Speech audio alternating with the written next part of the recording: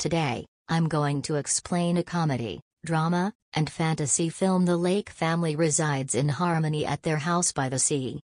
There's the ever busy mother, Mary, the always active father, James, the charming yet absent minded uncle, Desmond, the awkward son, Tim, and, the free spirited daughter, Catherine or Kit Kat. Every year, they host a New Year's Eve party with family and friends.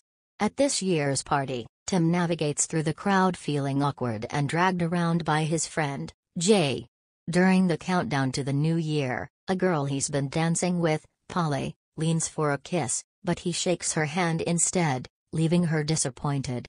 The following day, Tim wakes up, overwhelmed with embarrassment and a terrible hangover. He's called into his father's study.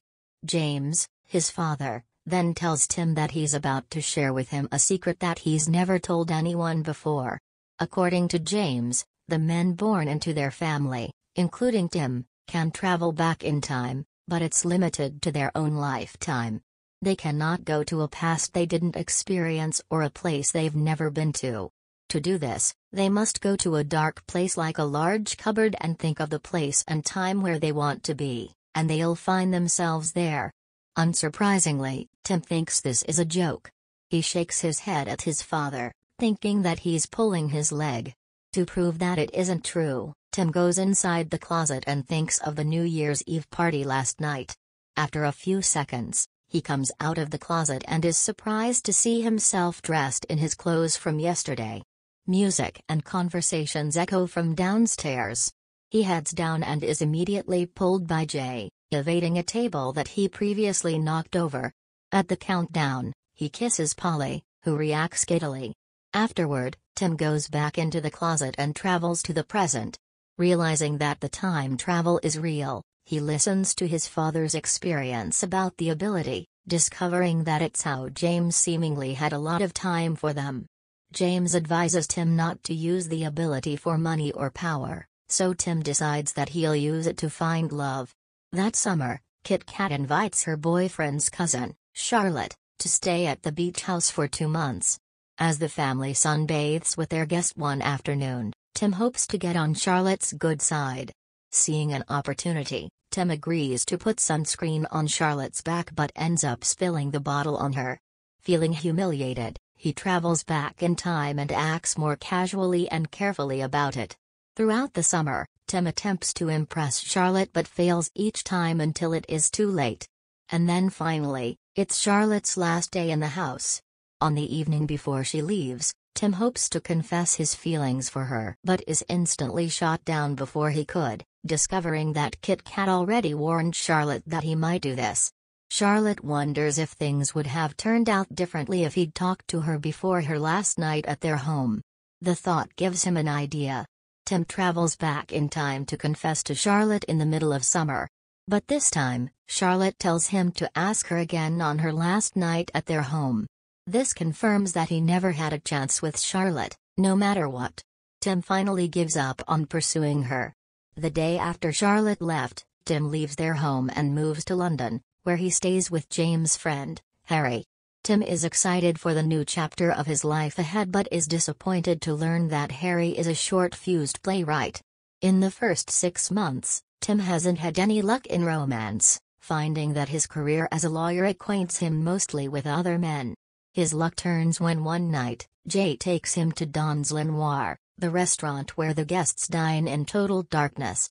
Here, they are seated next to a woman named Mary and her friend, Joanna. In the darkness, Tim and Mary get to know each other and have a great time. After dinner, Tim and Jay finally meet the girls face to face. Tim is stunned upon seeing Mary, and it's pretty evident that sparks have flown as the couple lay eyes on each other. She gives him her phone number before parting ways. Tim walks back home with a skip in his step, only to be welcomed by Harry's angered growl. The opening of his play was ruined by the lead actor forgetting his lines. Wanting to make things better, Tim goes back in time and joins Harry in the theater just before opening night. He approaches the lead actor, Tom, and convinces him to practice his lines. This works, but then another actor forgets his lines instead. Tim goes back in time again and helps him out. The play turns out to be a success. However, when Tim checks his phone, he realizes that Mary's number is no longer there. His travels in time had erased his lovely evening with Mary. Feeling distraught, Tim joins an ecstatic Harry for breakfast the next day. Harry shares the newspaper where Tim finds an ad for a Kate Moss exhibition in the city. Remembering that Mary is a fan of Kate Moss, he spends the week at the exhibit, hoping to run into her.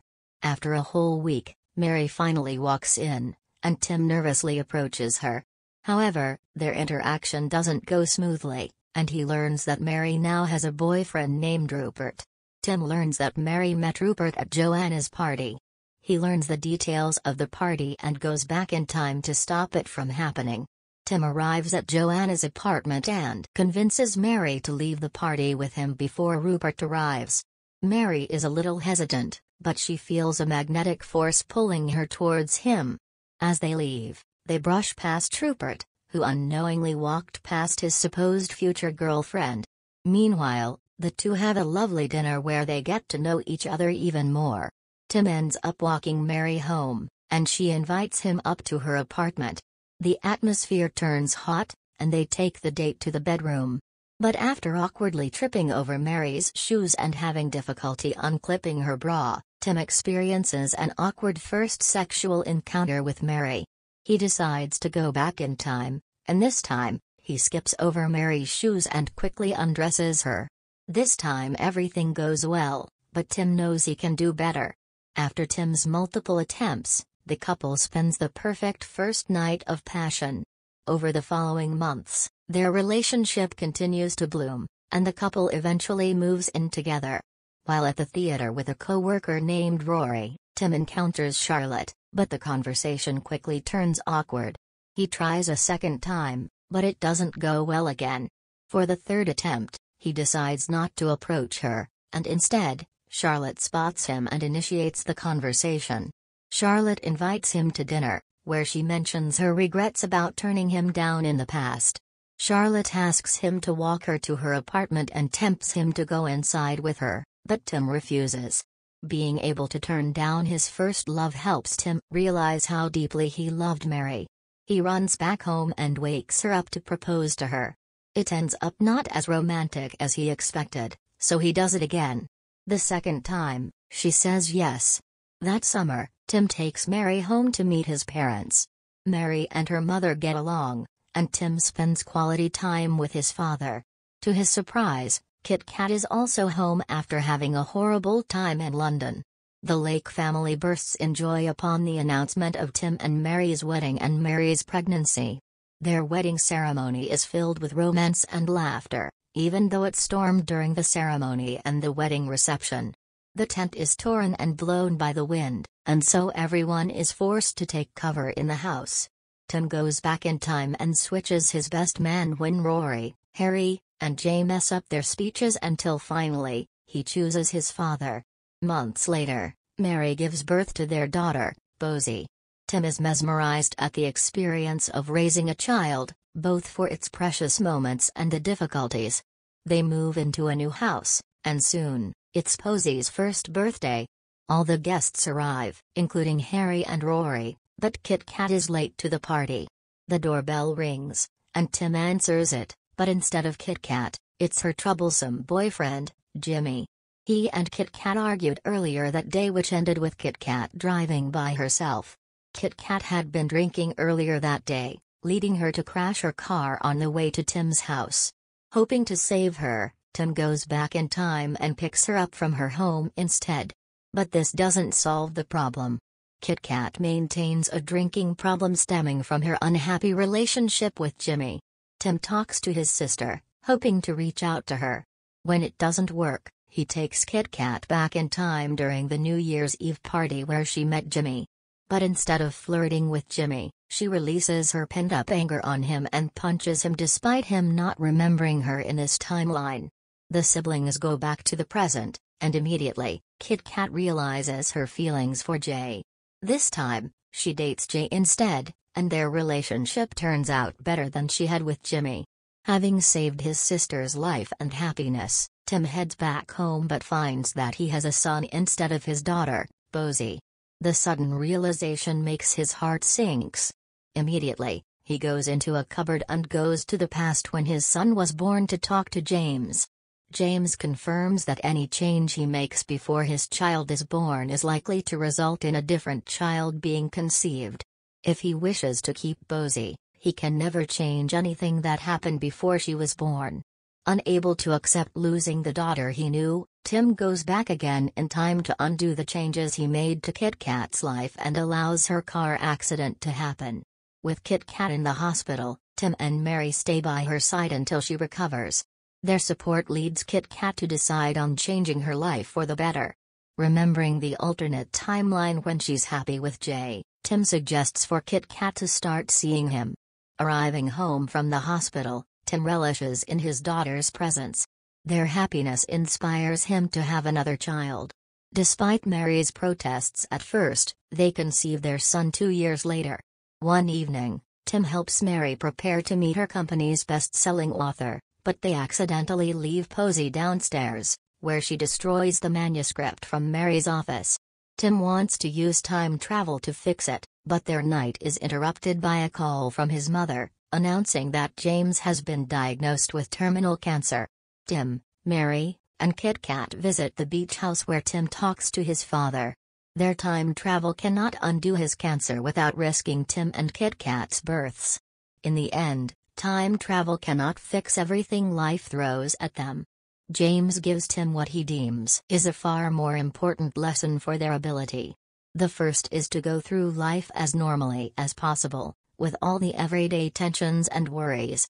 Secondly, after he lives the day once for the first time, he should go back and relive moments of his life while paying attention to how sweet the world can be. Tim follows his advice and finds happiness in both the mundane and the special moments in his life. However, there are still days that he doesn't wish to relive, such as the day his father died. Not ready to say goodbye, Tim travels back in time to visit his father while he's still in good health. After James' death, Tim is comforted that he can still visit his father back in time whenever he misses him. One day, however, Mary decides that she wants a third child. Tim hesitates, knowing that having a third child will disable him from visiting his father again. With much thought, he lets go of the past and decides to carry on with the future.